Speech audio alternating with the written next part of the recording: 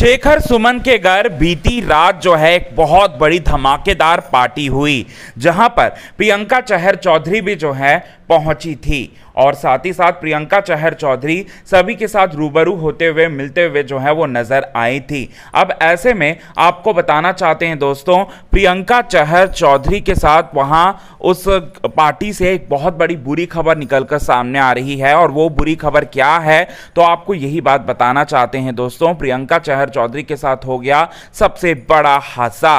और उस पार्टी के दौरान बाल बाल बची प्रियंका चहर चौधरी की जान। कैसे और किस तरह से चलिए आपको बताते हैं दोस्तों आज के खास रिपोर्ट में। लेकिन इससे पहले अगर अभी तक आपने हमारे YouTube channel quick TV news को आपने सब्सक्राइब नहीं किया है दोस्तों तो सबसे पहले क्विक टीवी न्यूज़ को आप सब्सक्राइब कर लें। बेल आइकन के घंटे को आपने नहीं दबाया है दोस्तों तो बेल आइकन के घंटे को आप ज़रूर दबा लें। आपको बताना चाहते हैं प्रियंका चहर चौधरी जो है आ, पार्टी में आई थी। प्रियंका चहर चौधरी के साथ आ, आपको बताना चाहते हैं यहाँ प्रियंका चहर चौधरी के साथ ही निमृत कौर आलूवालिया, निमृत थी साजिद खान सर थे फरा खान थी, शिव ठाकरे थे, सौंदर्य शर्मा थी, साथ ही साथ कुछ कॉमेडियंस भी थे शेखर सुमन की पार्टी में और बहुत ज़्यादा डांस मस्ती, ये सारी की सारी चीज़ें जो हैं यहाँ पर हुआ। लेकिन आपको बताना चाहते हैं दोस्तों यहाँ आपको एक और बात बताना चाहते हैं। प्रियंका चहर चौधरी जो है हाई हील्स जो हैं,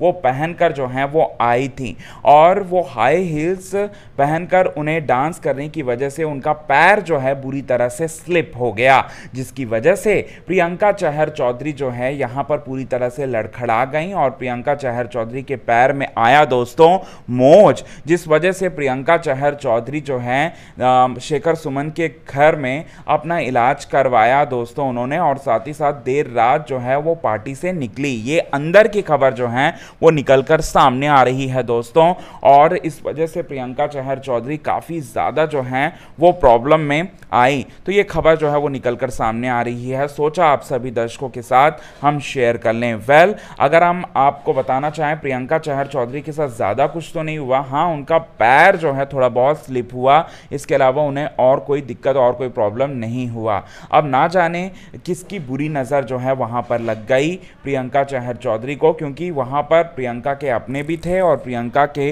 बुरा सोचने वाले भी वहाँ मौजूद थे। और प्रियंका के साथ यहाँ पर गलत करने वाले भी लोग वहाँ पर मौजूद थे। तो ये बात जो है वो निकल कर सामने आ रही है। सोचा आप सभी दर्शकों के साथ हम शेयर कर लें। अगर आपको ये वीडियो पसंद आए दोस्तों तो इस वीडियो को कमेंट कीजिएगा लाइक कीजिएगा दोस्तों। चैनल को यदि आपने सब्सक्राइब नहीं किया है दोस्तों तो चैनल को आप सब्सक्राइब करना ना भूलिए, बिल्कुल भी।